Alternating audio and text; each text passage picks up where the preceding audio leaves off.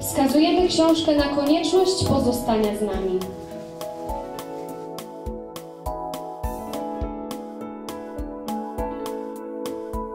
Zespół Szkół Technicznych imienia Wincentego Pola w Gorlicach dzięki pomocy Starostwa Powiatowego odnowił szkolną bibliotekę.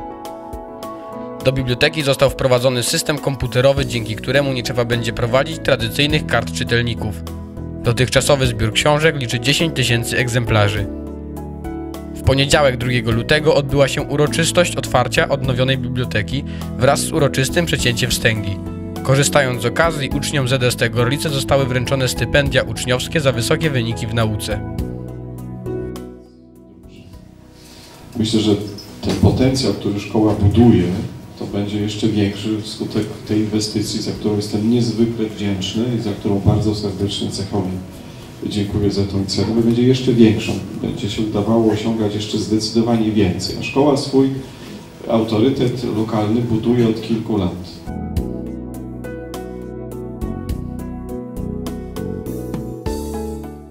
Staramy się, żeby w szkole warunki dla uczniów były jak najlepsze i rzeczywiście przed 50-leciem dzięki mm, staraniom i dzięki środkom, które otrzymałam od zarządu powiatu gorlickiego udało się wyremontować parter szkoły. No i pora przyszła na bibliotekę, ponieważ uważam, że biblioteka to centralne miejsce w szkole. Zresztą tak również takie są założenia reformy programowej, która e, wchodzi w życie w szkołach ponadgimnazjalnych już od września.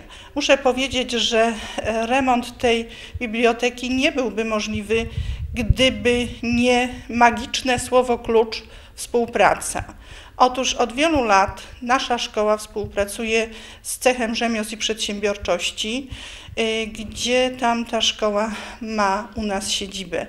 I od wielu lat y, współpracujemy na wielu płaszczyznach, między innymi biblioteka, którą dzisiaj po remoncie symbolicznie otworzymy i jest efektem y, tej współpracy. Myślę, że młodzież zarówno naszej szkoły, jak i szkoły zasadniczej szkoły zawodowej cechu rzemiosł i przedsiębiorczości będzie naprawdę z przyjemnością korzystała z nowego obiektu. Zadowolenia z takich inwestycji w oświatę nie ukrywa starosta powiatu gorlickiego Mirosław Wędrychowicz. Inwestujemy w, w oświatę nieustannie. Dzisiaj cieszymy się, że nie tylko my inwestujemy, ale inwestują również te podmioty, które korzystają z tej bazy, w tej naszej infrastruktury. Tutaj cech rzemiosł i przedsiębiorczości w Gorlicach zainwestował spore środki finansowe na modernizację e, biblioteki szkolnej.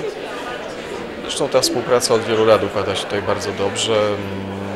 Raz my wykonujemy jakieś zadania, z których korzysta cech rzemiosł, innym razem oni i my, i my korzystamy, nasza młodzież to wykorzystuje.